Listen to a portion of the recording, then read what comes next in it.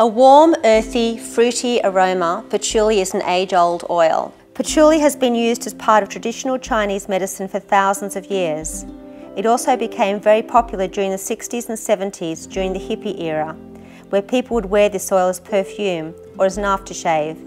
Even today, we have customers asking for patchouli as it takes them back to their youth and evokes nostalgia. Patchouli is good for grounding and helping you take you out of your head, so good for meditation. It's also like a good old fine wine, so it improves with age. So as time goes by, the colour will intensify, the aroma deepens, and it will become more enhancing therapeutically. We love patchouli and include it in a lot of our blends. Particularly, we like to blend it with ylang ylang, sandalwood, frankincense, bergamot and lavender.